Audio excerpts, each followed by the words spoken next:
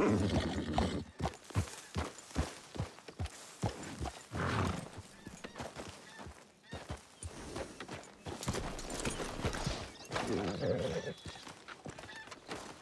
Arthur. Good to see you. Why? You want rescuing again, do you? no. I got a plan to make it up to you. A plan like the Blackwater ferry job, or like you going off scouting and ending up in jail? Dutch said you was a, a big shadow cast by a tiny tree. I don't even know what that means. Hmm, I thought you was a tough boy. Not one of those gentlemen trying to protect his riding clothes. I just know whenever things get real, you turn yellow, lose your head. Yellow. Sure seems that way. So I guess you won't be riding with me to rob the banking coach comes about this time in the Strawberry. I heard one of the O'Driscoll boys yapping about it while I was inside. You and me? Do a robbery? That's what I said, didn't I? After you. There's a spot up this way with a good view of the...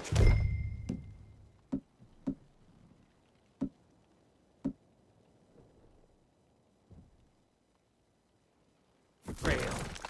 What are you doing anyway, camping out here like some crate?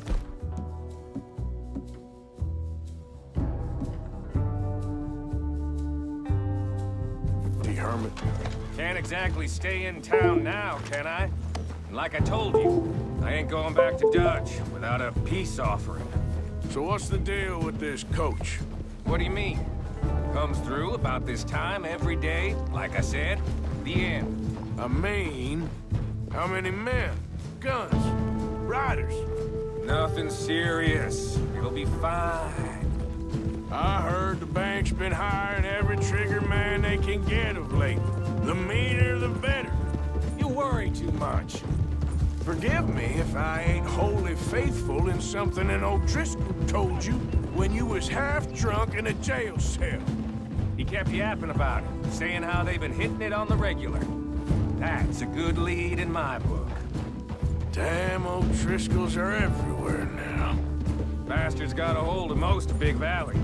Heard they took over some big ranch north of here. How the hell Careful. you and Lenny end up down here, anyway? Oh, you know how it is? Few loose ends. Drink here, drink there. What loose ends? Nothing that needs to concern you. I always pay my share. It concerns me when you put us in danger and we don't realize till it's too late. Like that move you pulled in Strawberry. Making me kill half the town just for your precious guns. Precious they are. You need to roll a little looser, Morgan. Looser. I seen you come full undone more than once now, and you only been running with us a few months. Are we gonna rob this coach or bicker about it? What's done is done. Guess we're robbing it. Then let's do it.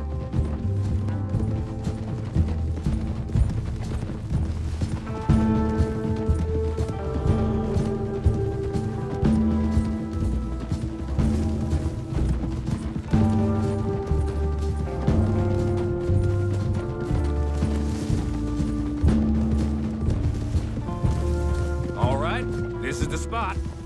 Hold up on this ridge.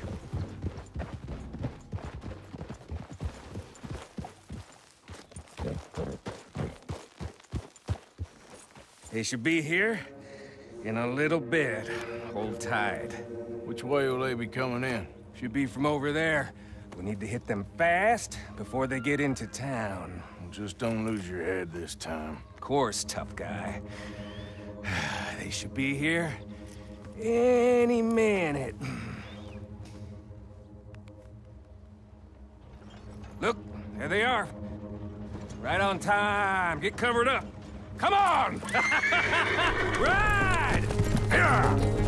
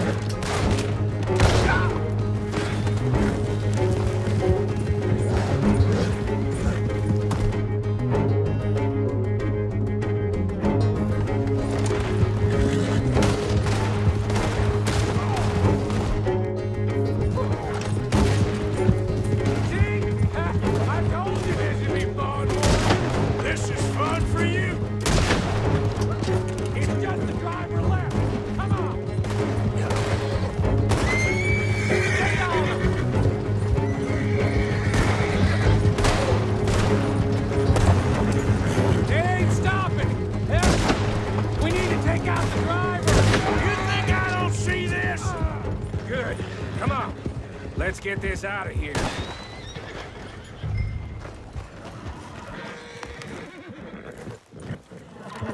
No need to keep your face covered now.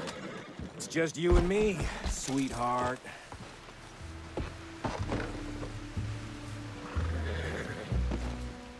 How long does it take?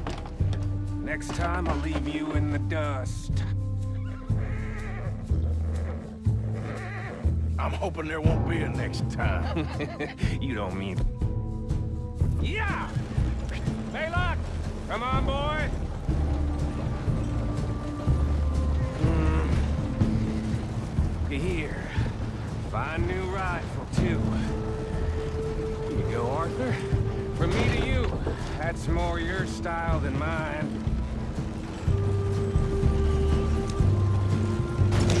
What did I tell you? Like licking butter off a knife. Something like that. You don't want to just break it open here, be done with it? Could be more than we can carry. And there might be a second crew of riders tailing. All right, then. Not to mention, we ride back in with a big take, new wet shit. Now we're being robbed. Get across the river.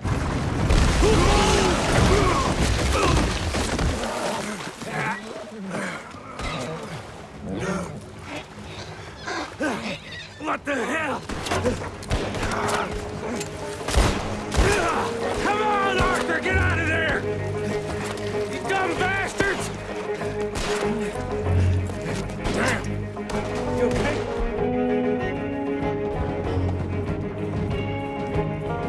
I think so. I'll take your head. Let's finish.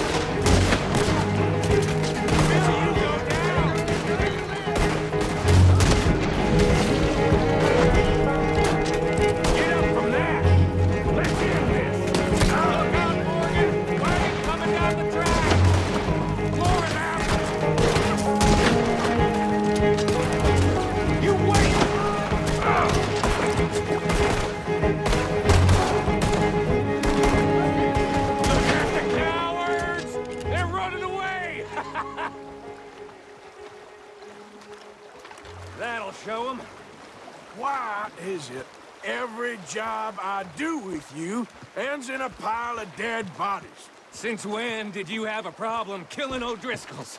Huh, huh. You've got a point. Let's strip this coach, then. It clearly ain't going nowhere now. You know, we should really pick up a lock breaker one of these days. Save ourselves some bullets. Yeah, because saving bullets is such a concern of yours. Hey, give me a hand with this, will you? Let's take what we can and get the hell out of here. That lock should shoot off easy enough. I'll give you the honors. On account of, well, this little mess.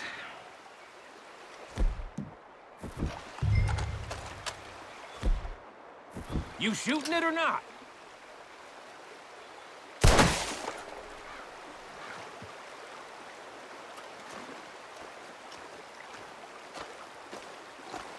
Just thought you'd want the honors. That should do it. Come on, let's see if all this was worth All. I see is you, me, a river full of dead O'Driscolls, and a lockbox. I'd say we're golden here, Morgan. Look at that. What's the cut here? It's good. Just make sure the gang gets its piece. Yeah, yeah. Like I said, big shadow, tiny tree. And like I mm-hmm. said, that still don't mean nothing. Get out of here. Go see Dutch. Make sure you ain't followed. I know, boss. I know. It's been fun.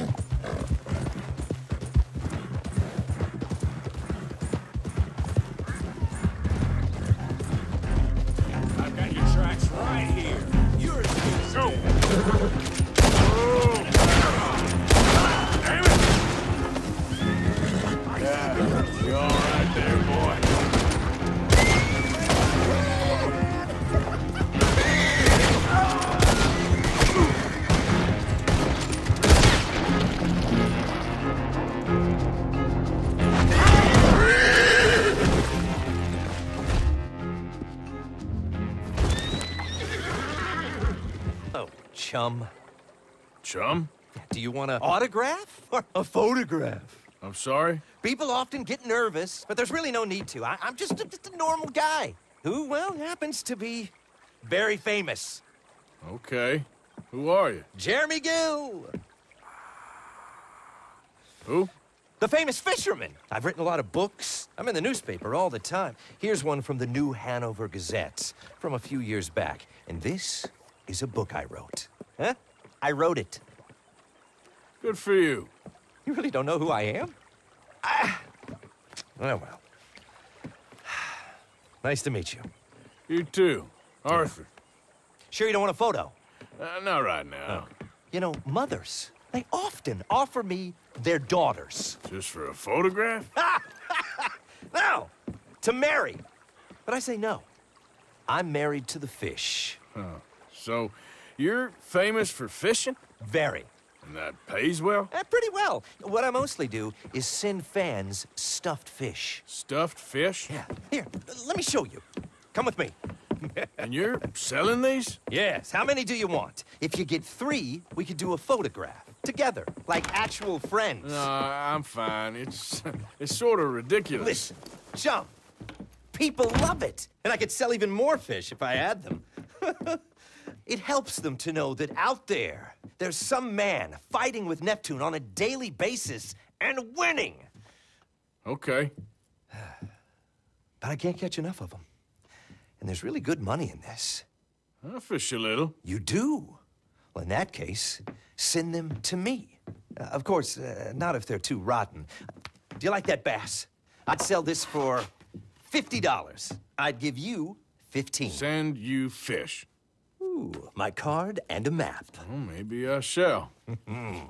Only the decent ones. They have to be at least 24 inches in length and 10 pounds in weight. No one wants to imagine Jeremy Gill catching a tiddler. There's no money in tiddlers. So I hear.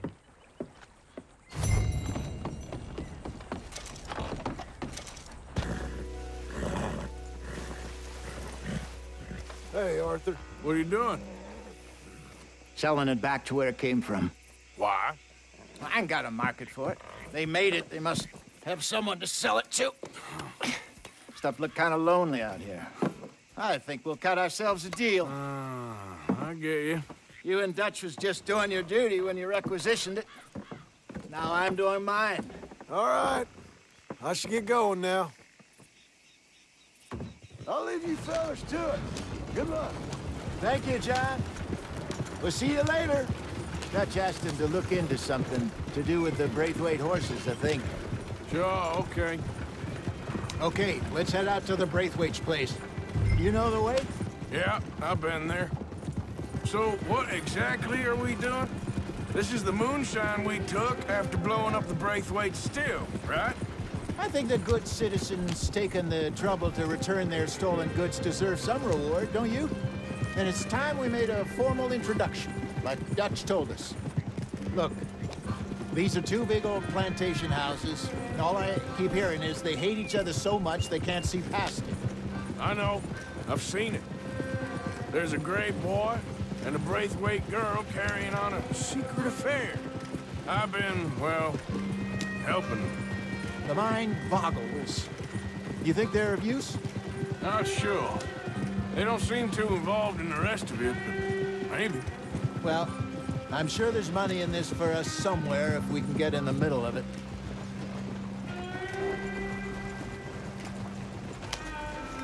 Hello, gentlemen. How are you? What's that in the back there? Moonshine, my fine fellow. May I have a word with the man of the house? The man of the house is a lady. Mrs. Catherine Braithwaite. May I speak with her? I want to discuss a business opportunity. I mean no harm. No harm at all. You may happily shoot me if I do. Okay, okay. She's at the house.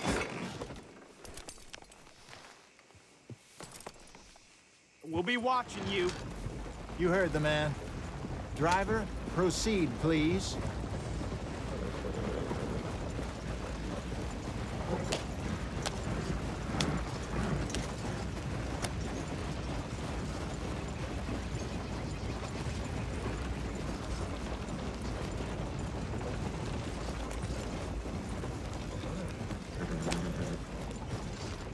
What you want?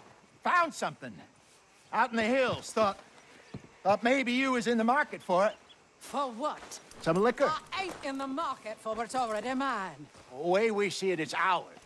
Well, with us possessing it, and I, I checked all over. For the life of me, I couldn't see your name on it. Oh. Relax, I ain't here to rob you. Though it seems that's easy enough. Why not do a deal? What do you sell that stuff for? Dollar a bottle? Give us 50 cents. It's already ours. Now look on it as a reward for finding the property. Alternative is we go sell it someplace else. The alternative is you get shot. Now, who wants to get shot over a bottle or two of liquor? Pay the man.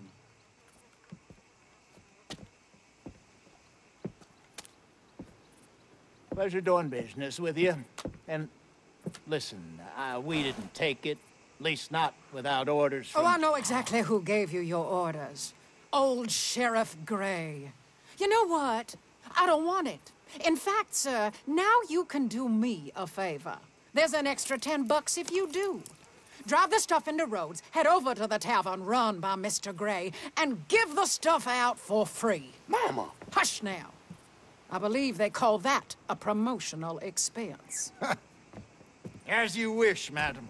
You boys come back sometime and tell me how you made out. Maybe we'll play a little cribbage.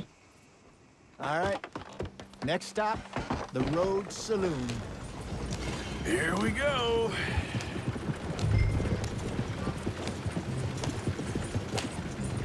So I finally sold those Cornwall bonds. Got close to a thousand for them. I wanted more, but not that considering how hot they were, especially after that bloodbath in Valentine. Oh, not bad at all. Apparently, Cornwall's been pumping a lot of cash into the Pinkertons. Wants to keep their full effort on going after gangs. Gangs like us. Yeah, that don't surprise me. Yeah. Whoa, All right. whoa. This could get ugly. You and Dutch already have that thing going on in town with sheriff. Yeah, Mr. Gray. That's it. Now we're inserting ourselves in his blood feud. We'll need something. I ain't playing Jessup. You know my feelings about that. Of course you're not. You're... You're a clown's idiot brother. Hosea, please. I'm the clown. You're the brother turned idiot. Just look sad and keep quiet. Even you can do that, Arthur. Oh, I have to. Put this hat on. Yeah, that. Smoke this pipe.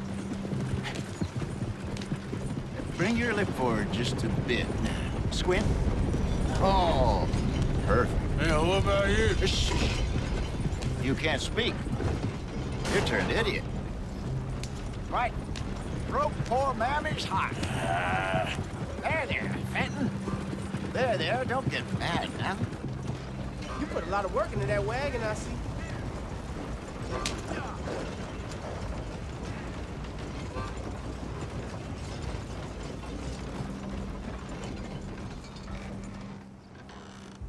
Okay, Fenton, stay calm now.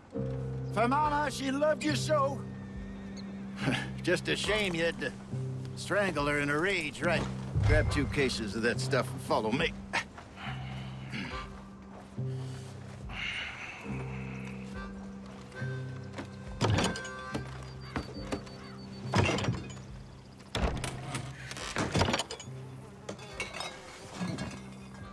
Gentlemen! Gentlemen! Quite the town you have here. We just rode in from up north. Hey, Hello! Hello, I'm Melvin. This is my brother Fenton. Don't mind him, don't madden him. He's turned idiot. Killed our mother, but it weren't his fault. How'd you boys, how'd you boys like a couple of bucks? I bet you would. One for each of yous. We're in the new trade of advertising, which is an American art form about ensuring people buy the correct things. I don't know. One more dollar. Says give us half an hour. What harm can we do in half an hour? Go along now. Enjoy the money. Come along, Fenton. Just hand out the liquor.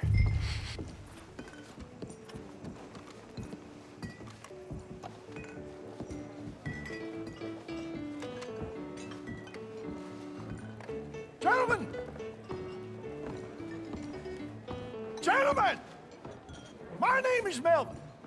That's my brother Fenton. He's a bit funny, but boy, can he pour drinks fast. For the next 30 minutes, the drinks in this here bar, in this here town, are entirely free. The only rule is that you gotta drink them. So hurry up, put old Fenton to work. Don't get him mad, though. His mama made him mad, and we buried her. Poor thing. Ah. Now come up to the bar, everybody. Come on, fellas, it's your lucky day. I'll have one, Fenton. A gift.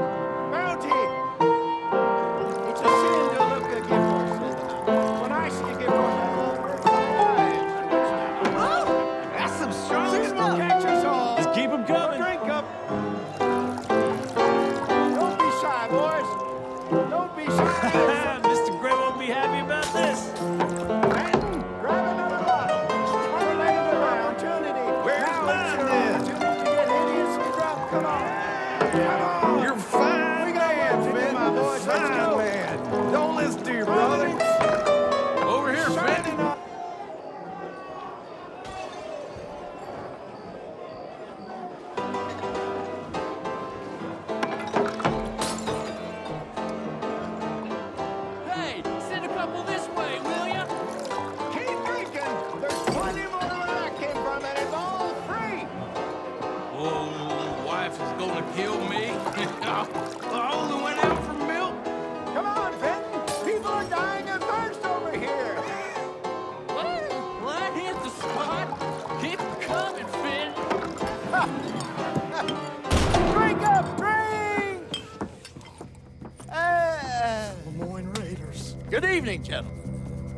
Libation. You, Me? you're the bastards who stole the liquor we was gonna buy. Gentlemen, we're in advertising. Uh, come on in and have a drink. That's our goddamn liquor. An honest mistake. Boys, get him!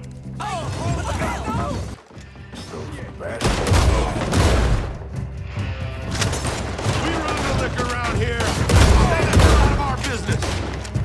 I'm gonna string you up.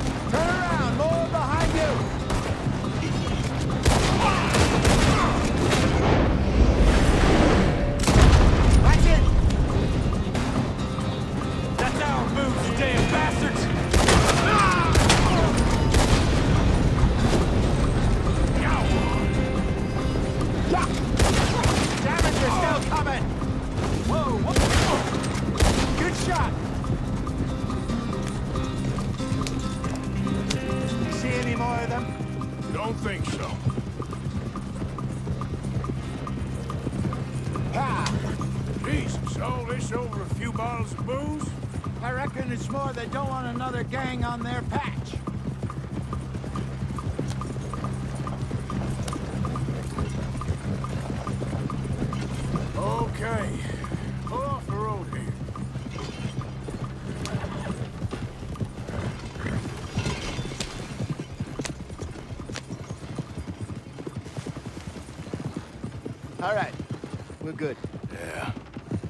Never to take up a career in... What was it? Advertise. You think that woman set us up? No, I don't think so. Maybe. This place is odd. Yeah. I keep seeing those fellas. Some local militia. Clearly not too happy to have some new competition. I'll go visit old Ma Braithwaite, see what's what. Why? We've been making money. The chest is filling up again, slowly but surely. Part of me thinks we just get ourselves good and lost. But we still need a lot more money before that can happen. So, for now, let me go give old Mrs. Braithwaite some of this moonshine as, well, let's call it a peace offering. Sure. That was fun, Fenton. We'll make an actor of you yet. I'll go speak to Dutch.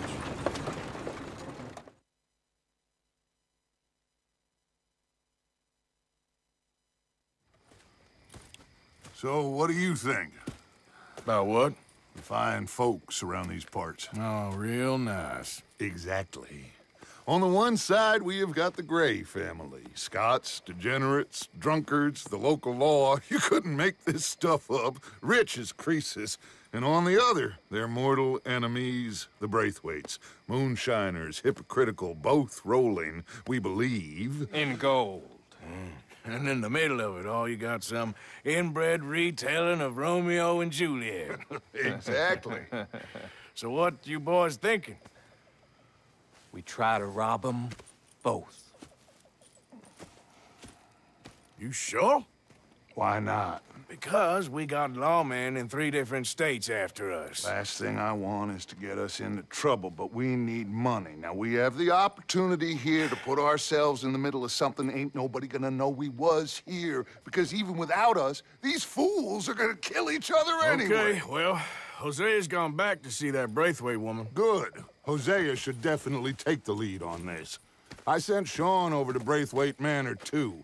Now, you can meet up with them, or join John and Javier at the Gray's place. Something to do with the Braithwaite's prize horses. Well, how the hell did we get an in at the Gray's place? Sheriff Gray kindly put in a word with his father. It ain't that complicated. we gotta convince each family that we're on their side, and then we rob them both. Before they figure out it was us that done it, and not the other lot, we'll be long gone. Think of it as payback for my daddy. Payback. Hmm. I ain't in the revenge business, Dutch.